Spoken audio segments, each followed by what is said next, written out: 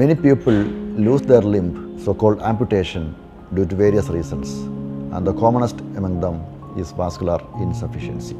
Diabetes mellitus and smoking are the commonest cause of this problem, and many of them are treatable. Study shows in 30 seconds, one Indian is losing their limb and become an amputee and handicapped in some part of the country.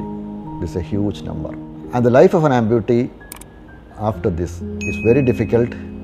He has to depend on many people to do his primary activities and also it has a lot of economic implications. Do these diseases preventable? Yes. Most of the vascular diseases are preventable and treatable. If you identify these diseases in the early stage, if it's very early stage, we can control them by medicines and control of diabetes and stop smoking.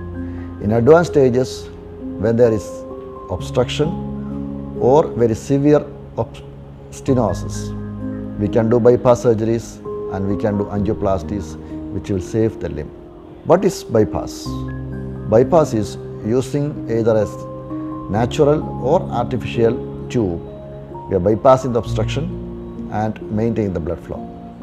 And angioplasty is putting some balloons and catheters with or without a stent inside the vessel and relieving the occlusion. Both these mechanisms will relieve the occlusion and keep the blood flow of the distal limb. If the blood flow is lost, the distal limb will not get adequate oxygen and nutrition and becomes functionless. And sometimes ulcers occurs at this point which will never heal with some other measures. So ultimately we have to remove it making the patient an amputee or a handicapped. So if any problem like pain in the walking or pain in the distal limb or there's a non-healing ulcer, consult a vascular surgeon, do the necessary investigations, identify the occluded segment and correct it.